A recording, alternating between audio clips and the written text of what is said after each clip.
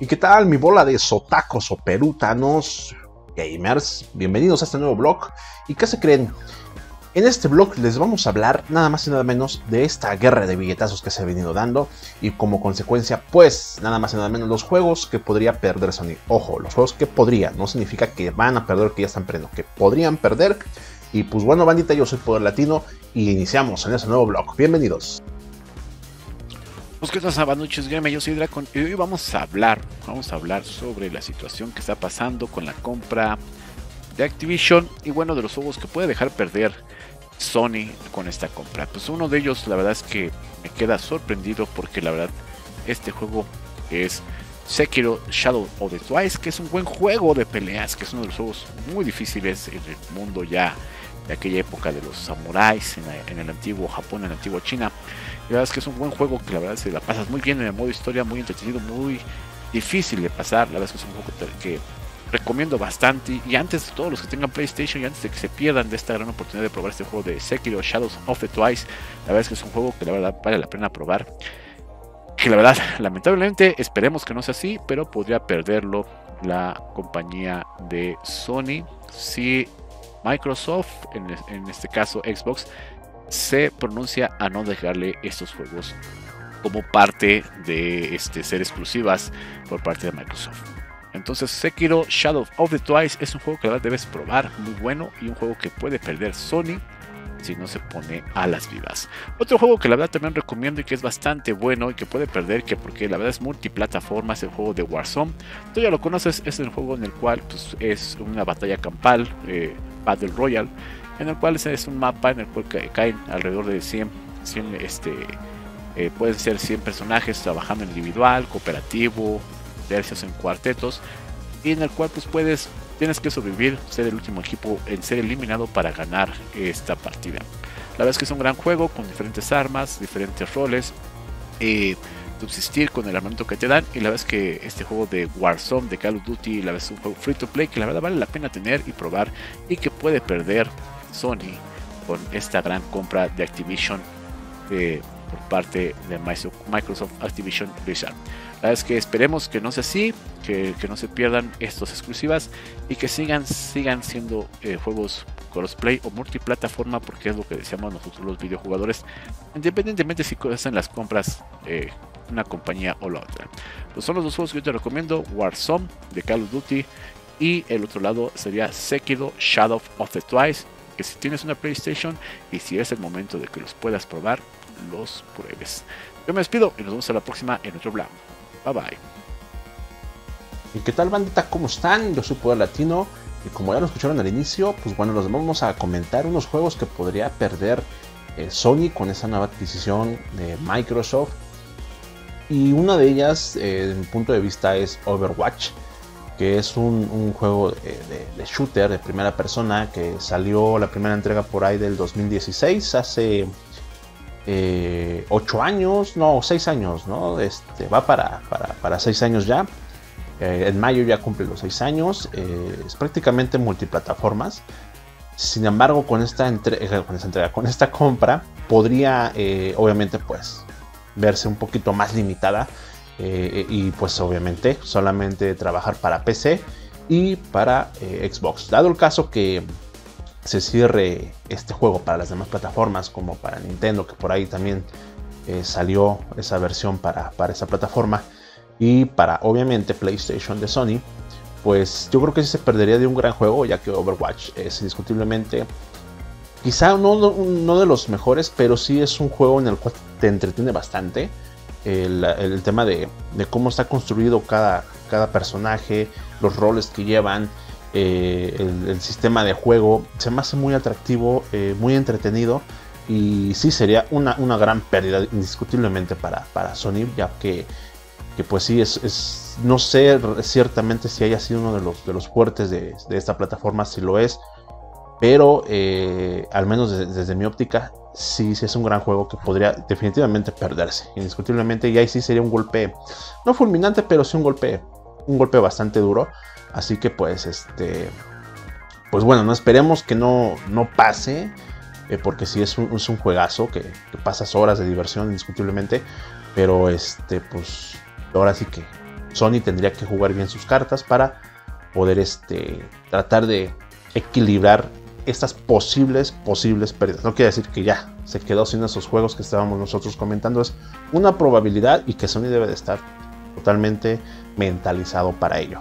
Así que pues bueno, bandita, esperemos un, año, bueno, menos, menos, de un año, ya unos 10 meses para, este, sí, como 10 meses para, para ver qué, qué, es lo que procede. Ahora sí, ver la, la, resolución completa de hacia dónde va el cauce que, está dirigiendo el río ahora este Microsoft con sus nuevas compras. Así que por una bandita, yo soy Poder Latino y nos vemos a la siguiente. Hey, pues como ya lo, como ya lo vieron muchachos, pues este, este, pues en la introducción, pues hoy toca ver estos juegos que probablemente llega a perder esta compañía de eh, Sony de PlayStation.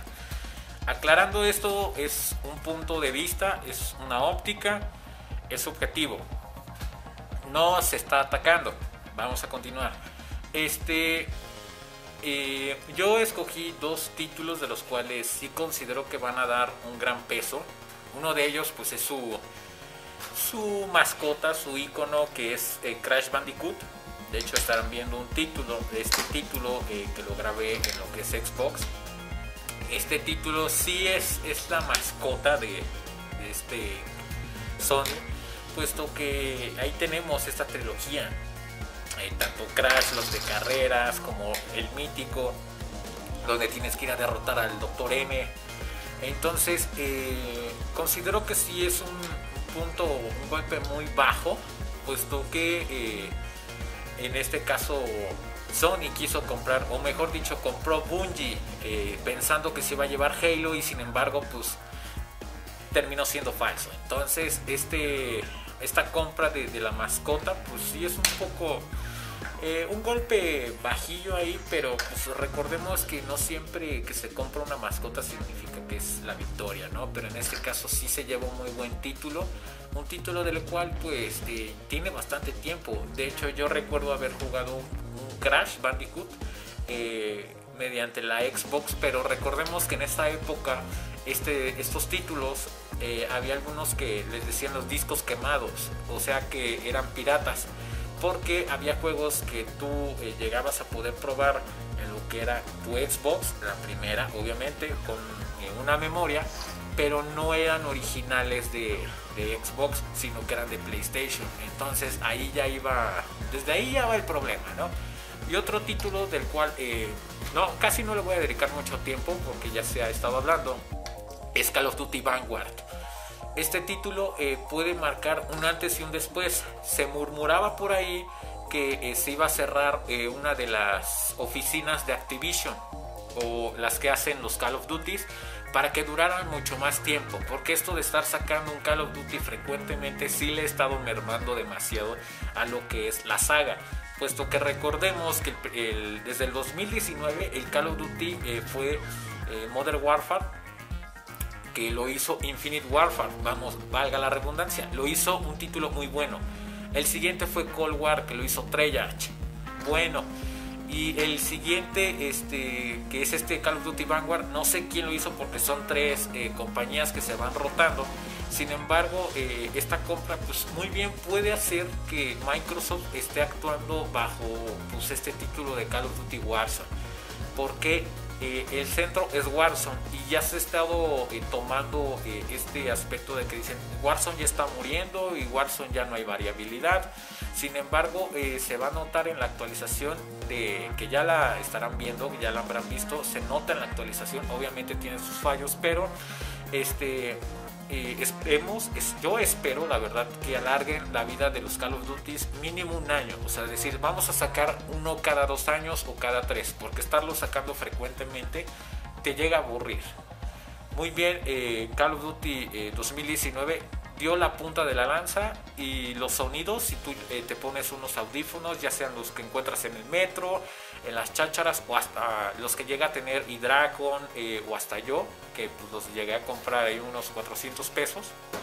Eh, sale, se escucha muy bien los sonidos, tanto la caída de los casquillos. Entonces espero que con esta compra eh, hagan muchos más eh, innovación en lo que es tanto el rublo de Call of Duty como en el rublo de esta mascota que es Crash Bandicoot. Y pues le saquen jugo, ¿no? Pero recalco, esto no es para atacar, esto no es para decir soy hater, hater de Sony al contrario, me agradan los títulos de Sony y los títulos de eh, Microsoft. Sin embargo, yo soy un punto medio. Sin más preámbulo, me alargué demasiado. Nos vemos hasta la próxima, muchachos. Se cuidan, se protegen y adiós. Pues bueno, esto fue todo en los blogs de GamerMex. Recuerda suscribirte, darle like, activar la campanita de notificaciones para ver más videos como este y no nos dé lag a la hora de jugar. Recuerda vernos en Facebook, en la Taberna del Gamer, todos los lunes y los miércoles para ver Among Us. Yo me despido y nos vemos hasta la próxima. Bye bye, felices juegos.